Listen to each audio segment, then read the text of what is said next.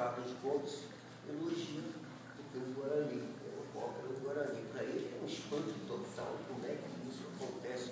O próprio Dom Pedro II, que também ele recebeu o novo, também recebeu a passivo, né, as referências, as raças, mas ele também se vestia de tupinambá.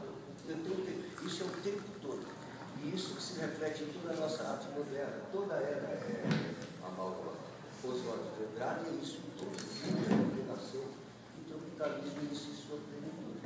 E foi inclusive a democratização se deu com a volta de Chico Betano, e também em 72, porque a alinhadura ia permitir a democratização e nós já explicitamente exilados, não apenas podíamos voltar, mas devíamos voltar o povo brasileiro estava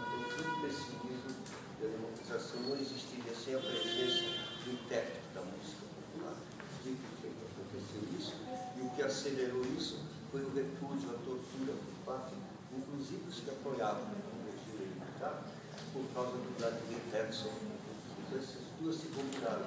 O auge disso foi em Águas Claras, o show que o Gilberto não participou.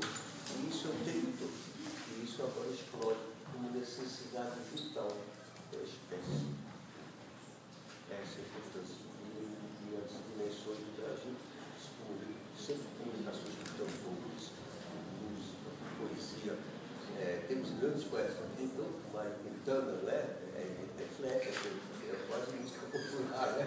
E esses filósofos são compositores, Castro Alves, citaram, o próprio Guimarães fazia música, então é o tempo todo isso aqui e essa, esse é o instante. O Brasil, então, pelo vilão gigante que